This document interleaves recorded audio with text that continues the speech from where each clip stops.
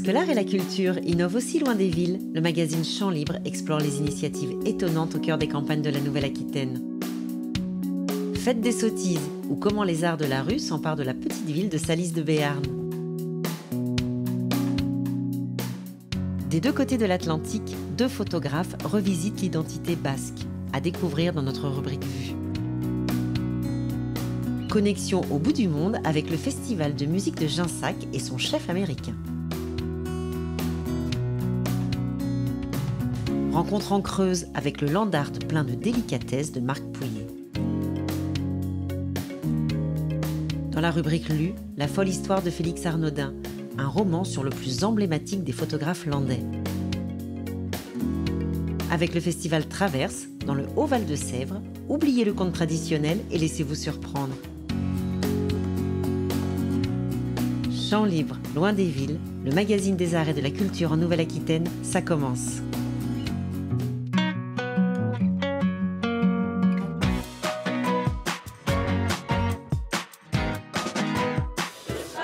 Le temps de quelques jours, au mois de juillet, la petite ville de Salis de Béarn se métamorphose en scène à ciel ouvert. Rues, places, jardins deviennent l'épicentre d'une multitude de spectacles en tout genre et pour tous les publics. Faites des sottises ou comment partager la culture avec le plus grand nombre.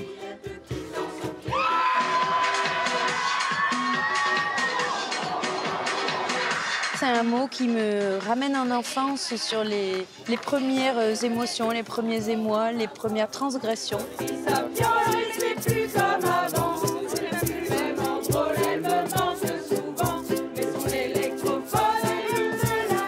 messieurs, là, nous sommes des batteurs de pavés. Oui. Compagnie suisse. Oui, désolé. Et aujourd'hui, on va tenter de jouer Germinal. Ouais. Ouais. Et Germinal, c'est de qui? Émile Zola. Qu'est-ce qu'il a écrit, lui, là En fait, on a fait une adaptation du roman euh, qu'on a adapté euh, à la base pour un jeune public, mais euh, finalement, on fait plus jouer avec des enfants que le contraire. On fait ce qu'on appelle une salade, c'est-à-dire qu'on invite du public à venir jouer en scène certains des rôles. Moi, chef de ligne Un chef de ligne. Un là. balèze quelqu'un de Alors, vas-y, crie plus fort que tu peux. Euh, Crie. crie. Ok, crie. Vas-y, crie. Oh. Attends, attends, les gars. On va d'abord demander à chacun son tour. Refais-le. Ah ouais. C'est vraiment un spectacle en connexion euh, constante avec le public. euh, ils font même monter des enfants pour euh, jouer les personnages de Germinal. En fait, ils font travailler les enfants. Je trouve que ça a été un, un beau moment et euh, quelque chose d'à la fois pédagogique, intelligent et profond. Et donc euh, tout en humour. Donc ça c'est euh, c'est précieux. Voilà, c'est précieux d'avoir des, des spectacles comme ça. En fait, c'est une œuvre qui est, euh, qui, est, euh, qui est universelle, mais en France, elle a un vrai impact profond. Ça fait vraiment partie de votre histoire. Merci madame, merci madame, merci monsieur, merci madame, merci monsieur. Merci, à vous. Bravo mec, merci madame. Merci monsieur, merci. On a décidé de s'implanter à Salis de Béarn parce que c'était un bel écrin pour accueillir un, festival art de la rue. Et on avait vraiment le souhait de développer un projet en milieu rural. Les arts de la rue nous semblaient vraiment euh, propices pour aller à la rencontre de la population euh, locale parce que justement il y a peu euh, d'infrastructures. Donc ben, nous on investit l'espace public, l'espace ben, de chacun, le- l'espace commun.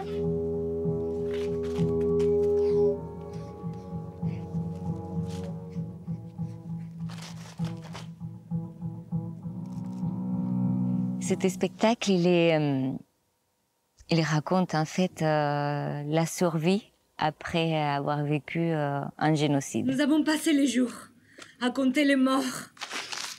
Combien de jours avant qu'on me compte moi? Qui va rester pour me compter? Pourquoi revenir? Pourquoi revenir si je suis la seule qui revienne? Pourquoi Riva C'est une danse tout en cadence, tout en violence. Pour moi, c'est une danse de mort-vivant. Et la beauté, elle se cache derrière tout ça, en fait. Mais c'est en- de, souffrance, en fait, de douleur, quoi. La compagnie Vendaval, elle est née dans le milieu rural. Et en fait, euh, je sens que, qu'on partage la même démarche d'amener la culture au milieu rural. On mépris beaucoup, beaucoup euh, ces milieux-là, en pensant que euh, les gens ne vont pas être intéressés, ils vont pas être touchés. Il faut que du divertissement, il faut faire rire, il faut de la légèreté. Ça fait partie des, de ma lutte de dire non. en fait, il en faut de tout. Il a fallu euh, faire sa place. Au début, il y avait peu de Salisiens qui venaient. Et puis finalement, ils ont commencé à être euh, curieux et un peu plus curieux. Donc aujourd'hui, on a les, Salisiens euh, prennent bien part à, la manifestation. il y a un beau mélange avec toutes les personnes qui viennent de l'extérieur. Le mot sottise, c'est tout ce qu'on fait quand on est enfant, l'espièglerie du de l'enfance. Euh, que je trouve qu'il peut être important de retrouver à l'âge adulte, justement. Parce que c'est quelque chose qu'on oublie et il est temps qu'on y revienne quoi, un peu. Mais c'est les gentils sottises. C'est la liberté. Lui qui va toucher Oui Qu'est-ce qu'il y a le sol?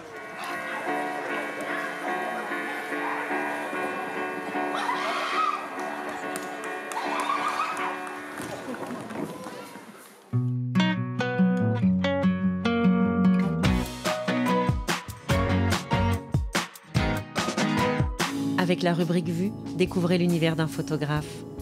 Il fut un temps où le Québécois Charles-Frédéric Houlette et le Français Christophe Goussard travaillaient chacun d'un côté de l'Atlantique, photographiant leur fleuve, le Saint-Laurent pour le premier, la Gironde pour le second. Chacun chez soi, jusqu'au jour où ils se rencontrent et imaginent un projet qui croiserait leurs regards. Leur fil conducteur et point commun? Les pêcheurs basques qui venaient chasser la baleine sur le Saint-Laurent bien avant la fondation de la Nouvelle-France. Ensemble, puis séparément, les deux artistes explorent les traces fictives et réelles de cette histoire oubliée. Pendant que le Canadien arpente les rives de l'Adour et de la côte basque, le Français parcourt celle du Saint-Laurent avant de se rendre dans la province de Terre-Neuve et Labrador. Ici comme là-bas, il ne cherche pas le récit historique, journalistique ou ethnographique. Nous sommes dans la quête fictionnelle, quand il ne reste presque plus aucune trace de l'histoire, quand il ne reste plus rien, alors on est dans la mythologie. On peut imaginer et réinventer, explicite Christophe Goussard. Dans l'exposition puis le livre, les deux artistes ont choisi de ne donner aucune clé pour savoir où l'on est. Ainsi passe-t-on d'un photographe à l'autre, d'un territoire à l'autre, d'une histoire à l'autre. Nous mêlons les identités. Les photographies ne sont pas légendées, pas signées. Nous aimons que les gens ne comprennent pas tout, qu'ils se perdent. Entre la densité des noirs et blancs de Charles-Frédéric Houlette et les couleurs presque monochromes de Christophe Goussard, chacun peut choisir de se perdre, de se frayer son propre chemin. Un chemin par-delà les océans, par-delà l'histoire, au cœur de la fiction.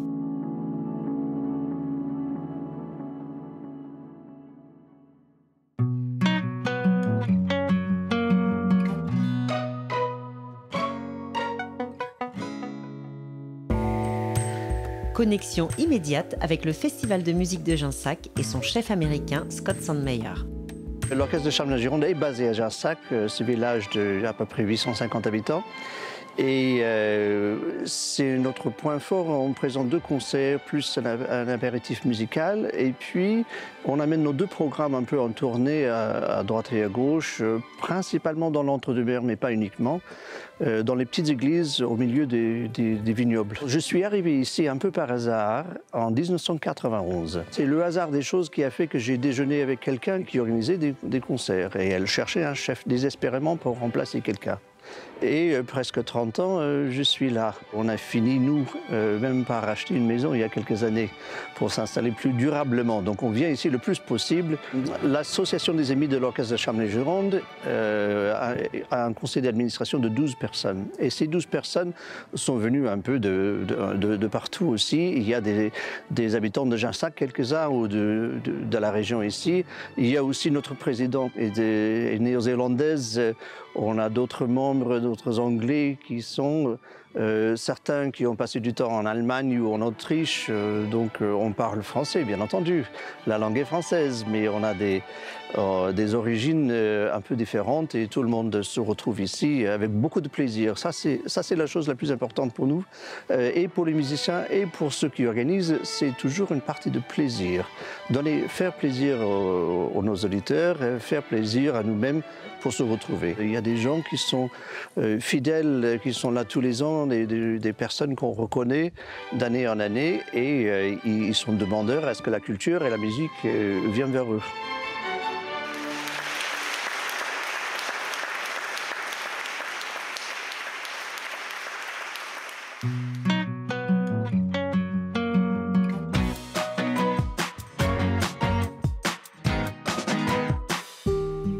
Avec ses créations dans la nature, composées de ce qu'il trouve autour de lui, Marc Pouillet revisite de manière très personnelle le land art. C'est ainsi que depuis des années, ce creusois d'adoption arpente les paysages pour composer des créations éphémères, pleines de poésie, qu'il photographie et dont il fait ensuite des livres.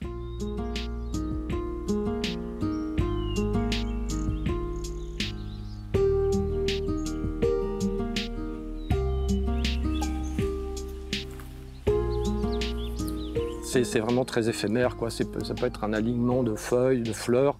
Et voilà, un coup de... la, photo participe, c'est important et partie prenante aussi à, l'installation pour euh, conserver une trace. Parce que voilà, c'est très très éphémère et ça, disparaît. Alors bien sûr, je le laisse sur place et voilà, si on, peut le voir, mais euh, je ne sais pas comment ça se passe après. Mais ce que je préfère, c'est vraiment le côté, bien sûr, c'est la liberté totale, l'improvisation, c'est-à-dire de, partir en, balade, de, marcher. Il y a deux choses qui déclenchent les, idées, c'est les éléments naturels, je sais pas, telle fleur, telle herbe, telle baie que je trouvais. Hein. Et puis le, lieu aussi, les lieux. Le land art, c'est aussi un travail sur le paysage quand même. Et j'appelle ça le support, c'est l'endroit où je vais m'installer. Ça peut être un beau rocher, ça peut être une souche, ça peut être un tronc d'arbre à verticale, ça peut être enfin, voilà, un accident du terrain.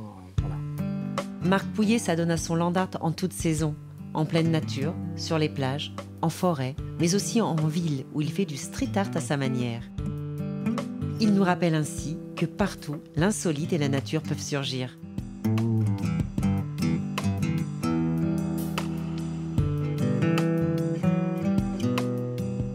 J'aime, moi, c'est la nature en général et c'est changer de paysage, d'aller, euh, j'adore faire des choses ici dans la Creuse. Alors là, c'est du vert, ce sont des fleurs, les branches, la forêt, mais j'adore aller en bord de mer. Je fais plein d'interventions aussi en bord de mer, sur le sable. Je fais des grandes installations maintenant dans le sable ou des mandalas avec les coquillages ou avec les rochers. Et j'aime aussi les saisons. Moi, j'adore l'hiver, par exemple. Pas forcément pour travailler avec la neige, mais c'est parce que les choses sont moins évidentes. J'aime bien toujours ce côté observation, de découvrir. C'est vrai qu'au début, on voit rien. Puis petit à petit, bah, voilà, on voit des, choses, des baies qui sont en dégradation. Enfin, il y a des choses merveilleuses.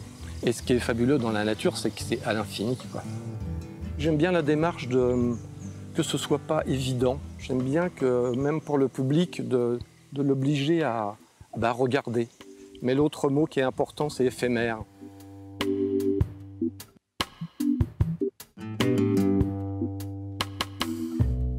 Si les créations de Marc Pouillet sont éphémères, ses photographies font l'objet d'un nombre considérable de livres. C'est sa manière à lui de garder une trace.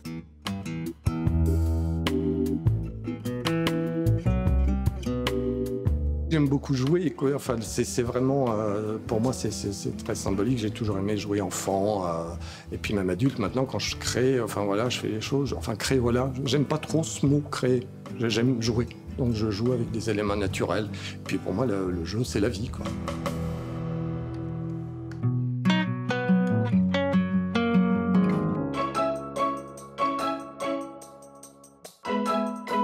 À la tombée du jour, après un craquement de branches, il voit surgir la fantastique silhouette immaculée. Il la photographie. L'animal fuit aussitôt. Félix est fou de joie. Il se précipite dans son laboratoire portatif. Composition chimique minutieuse. Et le résultat apparaît enfin. L'image est ratée, toute floue et blanche. Un voile masque totalement le cerf. Le photographe est déçu. Il pense à Marie et retrouve un peu de courage. Il lui faudra être patient. Félix rentre chez lui après plusieurs jours d'errance pour consigner ses observations, retranscrire les contes et proverbes landais qu'il a collectés et apprendre à jouer de la flûte pour restituer les chants et partitions de musique de l'ancienne Grande Lande. J'ai choisi la folle histoire de Félix Arnaudin. En lisant ce livre, j'ai appris que c'était le témoin des Landes d'avant, avant les pins.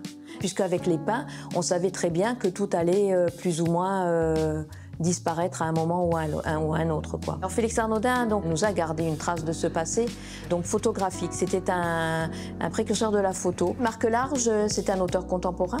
Euh, il vient de la presse écrite. Marc Large a, a travaillé beaucoup donc euh, sur ce, ce, personnage, Félix Arnaudin.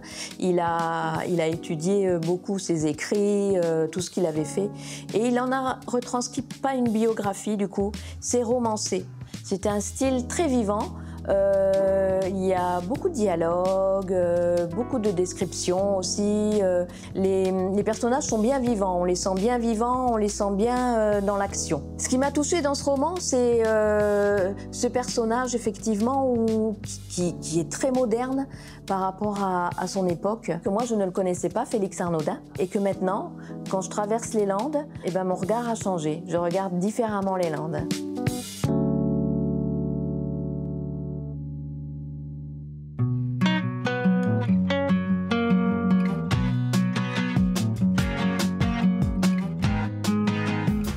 Dans le Haut-Val de Sèvres, depuis 20 ans, se déroule un festival itinérant consacré aux arts de la parole. Longtemps appelé Contes en chemin, il est depuis peu porté par la compagnie La Volige. Une page se tourne avec un nouvel état d'esprit, un nouveau nom, mais toujours avec l'art et la manière de conter des histoires. traverse avec un point de- d'exclamation qui est important, comme une injonction à faire un pas de côté, à, à avoir de la curiosité. Un festival pour toi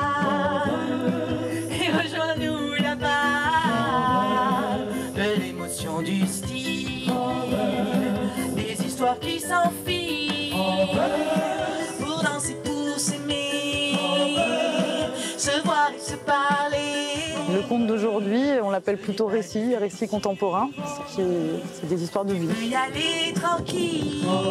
Merci à tous. Passez une bonne soirée, la première euh, soirée vraiment de Festival Traverse. Le conte, c'est aussi une manière de travailler, c'est-à-dire c'est des artistes qui vont, euh, voilà, qui- il y a des choses qu'ils ont envie de raconter, des gens qu'ils ont envie de rencontrer. Ils ont toute une phase de collectage, une phase d'écriture, une phase de mise en bouche, une phase souvent de, de mélange avec la fiction. Et c'est eux aussi qui sont sur le plateau.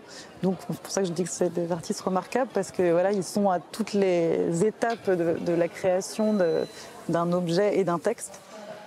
Bienvenue dans ma tête, bienvenue dans mon théâtre, bienvenue dans le monde tel, tel que j'aurais voulu qu'il soit autour de cette histoire. Alors, comme la plupart des jeunes filles de mon âge, je peux enfin m'intéresser aux garçons. Si jamais le grand écart ne suffit pas, j'ai mis au point une technique de drague infaillible qui marche à tous les coups. Je parle de mon grand-père irlandais disparu. Et sinon, j'ai un grand-père Un grand-père irlandais qui a disparu Euh, c'est de l'autobiographie, de l'autofiction, euh, de l'imaginaire. C'est, c'est moi sans être moi. Je fais 25 personnages, mon- dont mon père, ma mère, mon frère. C'est à la fois eux et pas eux. J'ai changé les prénoms. Bridget, j'aimerais savoir pourquoi ils ont quitté l'Irlande? Pourquoi ils sont venus s'installer à Londres? Because they were cousins. Quoi? Ils étaient cousins? First degree? Cousin Germain? Maman? Tu savais?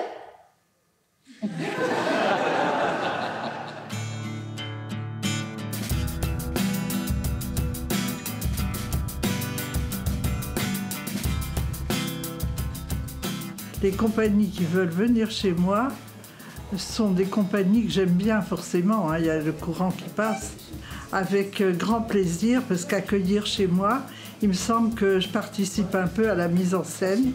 Ça, c'est une passion. Je dis toujours, euh, si j'avais pu recommencer, euh, je pense que je serais metteur en scène. Si on devait définir le conteur, par exemple, et dans laquelle, une fiction dans laquelle moi je me reconnais, c'est le fait euh, d'être dans une, euh, une tradition.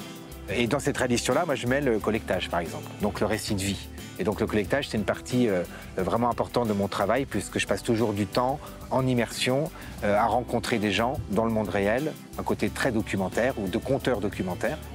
Il y a une adresse très directe au public. Donc moi, quand je parle, c'est toujours moi, Nicolas Bonneau, qui, qui parle aux gens. Donc on ne peut pas dire n'importe quoi. D'où cette dimension politique du conteur aussi. Et puis il y a la dimension bah, du récit, une histoire. On est là pour raconter avant tout, euh, avant tout une histoire. Le père Claude est alors assez sage pour comprendre qu'il ne parviendra pas à dormir la maladie du Vivien. Il faut lui rendre sa maladie. Pour ça, une seule solution rompre le pacte qui unit le médecin à son patient, lui rendre son argent. Puis là, le père Claude comprend. Il comprend la maladie du Vivien. Parce que là, il a toutes les peines du monde à se retenir. Et de sauter sur la femme, et de peser sur elle de tout son poids, et de remonter sa jupe, et, euh, de lui faire mal, et de serrer son cou, serrer, serrer, serrer. Et Nicolas, là, il a fait, il a été génial, quoi, par euh, ses contes euh, actualisés. Voilà, c'est la grande découverte d'aujourd'hui. L'idée, c'est pas d'arriver, bam, on impose nos spectacles, c'est de faire avec les gens. Donc à chaque fois, amener une dimension artistique, mais pas trop non plus. Parce que je pense qu'il y a. Voilà, c'est pas si simple de se rencontrer et qu'il faut pas euh, amener trop la, culture de manière sacralisée. Donc vraiment faire avec les gens, faire avec les bénévoles, faire avec les communes pour euh, pouvoir faire perdurer l'esprit qu'avait l'imprompte en chemin.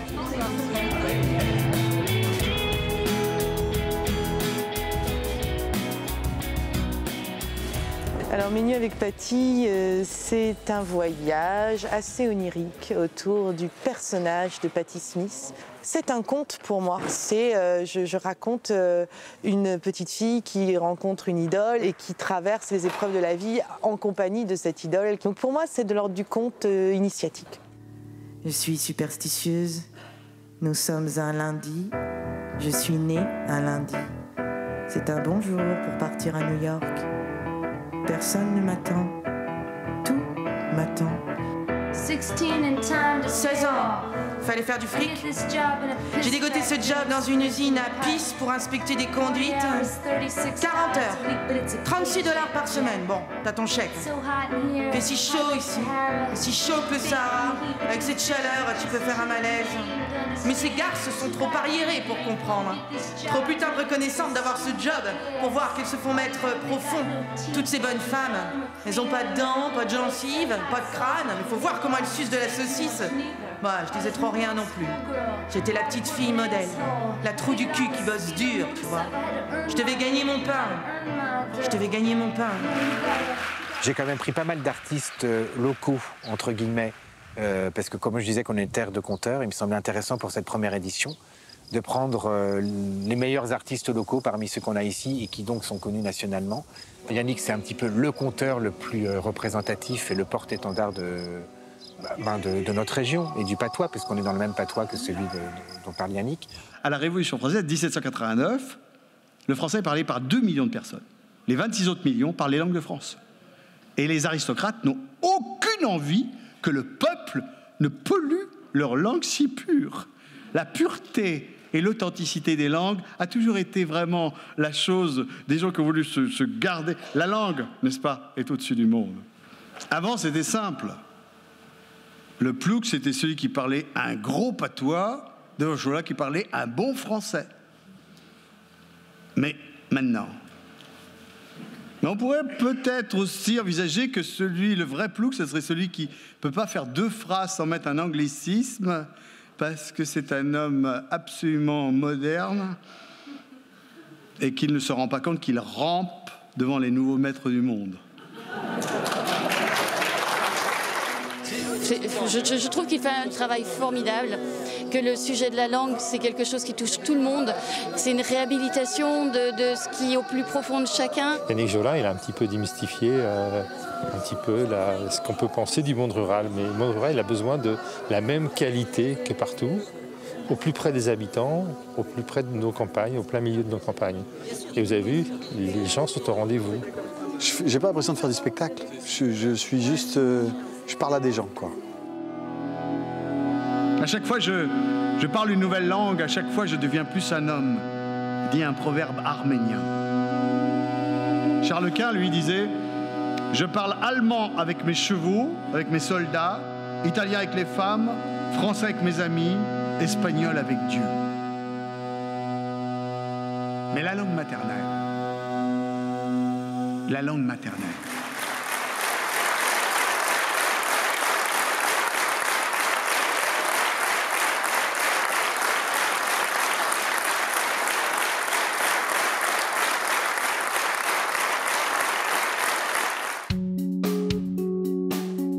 prochain numéro de Chant Libre, focus sur Pris dans les phares, ou comment le théâtre redonne vie à un hôtel désaffecté.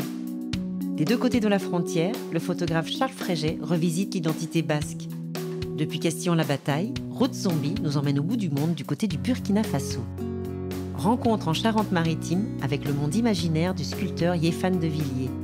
Dans la rubrique Lue, Paroles de village de Nouvelle-Aquitaine. Faire revivre les églises par la musique? C'est le pari d'itinéraire baroque en Périgord vert.